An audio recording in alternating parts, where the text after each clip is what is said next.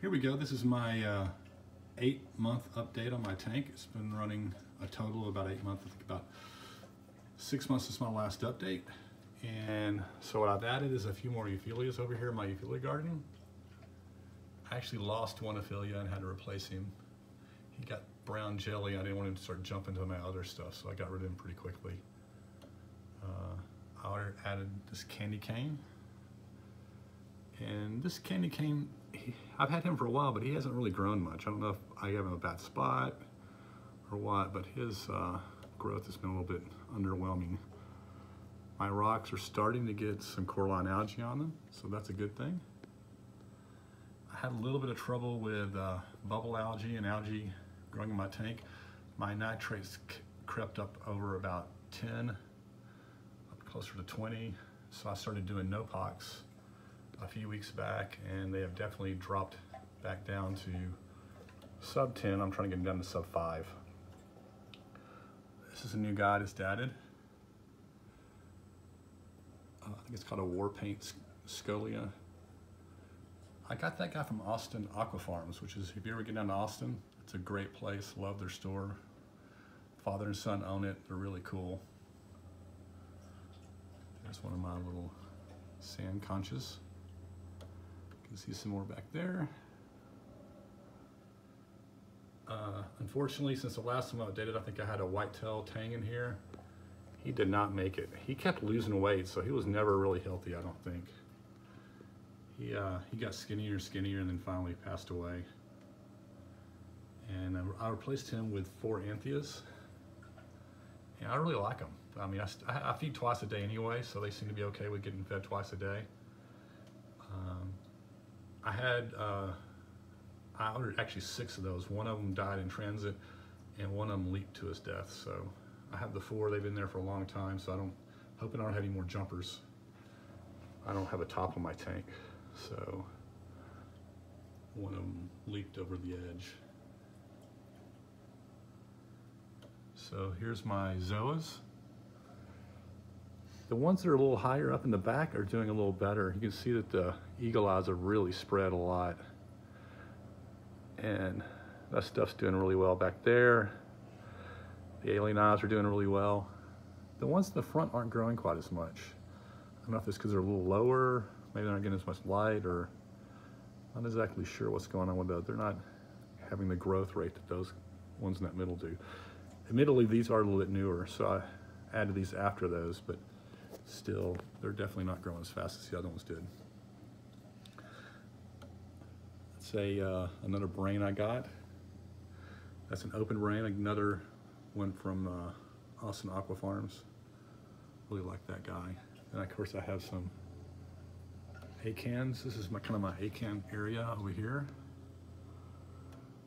See, I have a bunch of different acans. The one in the back there is the newest. Just got him. He's starting to get a little bit happier looking. And then I have some SPS up here. The one in the back is a Monty. He's doing really good. He was just a little dot when I got him. He's grown a lot. The guy in the middle there, he hasn't grown much, but he's his definitely can see his little polyps extending, so I think he's good. I think the one in the front may be dead. He doesn't seem to be doing much. He was an acro, so I have a little acro pack, but he hasn't done well at all. I don't know if I killed him or something when I first got him, but he's always looked kind of the same. And that's my leather. He's grown a lot since I got him too. It may be that he might be messing with these SPS, being a little close there. I run carbon, so I'm hoping I don't. You can see my uh, clown there in the back. It's a black ice. They have grown a tremendous amount. They were tiny little guys when I got them. They're really big and happy looking. Same with that guy, my Banggai Cardinal. He has grown a lot. He's probably at least twice as big as when I got him. So the fish are all doing really well, except of course the tang, he, he didn't make it, but I think I'm set with fish, so I'm not gonna add any more for a while. Let's see my wrasse, he's doing really good. And I don't know my fox face, but he's always Scaredy cat, but man, he is really, I don't know if you can tell how thick he is. He has got some beef on him. I feed him uh, algae on a clip, and then of course just uh, Mysis shrimp, and then I also use the Larry's Reef Frenzy, which they really like. I've got them pretty trained now. Have a button that kicks off my power heads, and they know when that happens. They all come out and are ready to eat. I like the Anthias because they give the tank a lot of action. So the one thing I have done a little bit different is I started putting Nopox in when my nitrates went up. So I'll open up the bottom here. You can see everything in here is pretty much the same as it has been.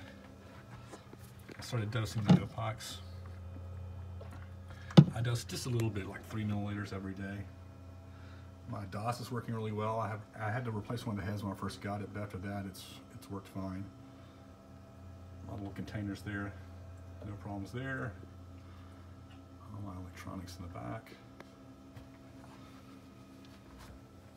Go to the other side. Everything over here is pretty much the same, I think. I don't know if I had the Skimz the last time I did one of these. I like that little guy. It's got it's a macro algae reactor. Last time I cleaned it out, it had a tremendous amount of algae in it. And then I have, of course, all my media. That hasn't changed much. And then that's my uh, Simplicity protein skimmer. He, I have it skimming pretty wet, mostly because of the Nopox. When I put the Nopox in, it really, it really kicks it into high gear. So, if that's supposed to happen, but it definitely happens. One change I have done is, it's hard to see, but that is a different return pump. My original return, pump, the AC-DC converter died in it, and I replaced it with that Jebao. I had it overnighted, it was like a third the cost. I just kind of wanted to back up anyway, so I figured I'd go for one, a little cheaper one. But it works just as good and it's just as quiet. You can't hardly hear the thing. So I just left it in there. I have the, the Varios 8 in the closet right now. I didn't use the control port on it to control the speed of the return pump. I didn't think there was any reason to. Uh, I turn it on and off, but I used to use the switch for that.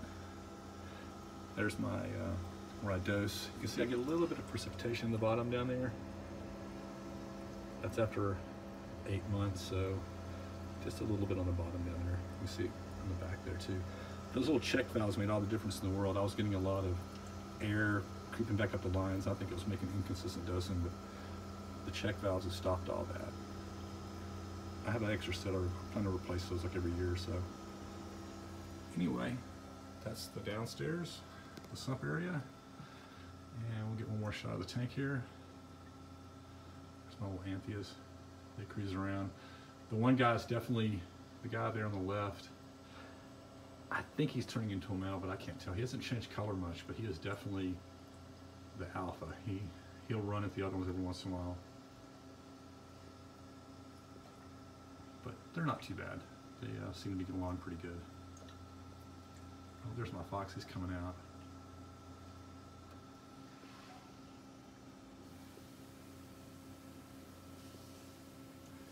Anyway, that's it for the eight month update. Thank you.